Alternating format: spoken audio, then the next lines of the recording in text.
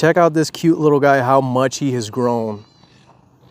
A couple weeks ago, I showed him and he was tiny and he's getting so big. It's crazy how fast they grow. He's very playful. By the way, his name is Stew, And uh, no, that's not short for Stewie.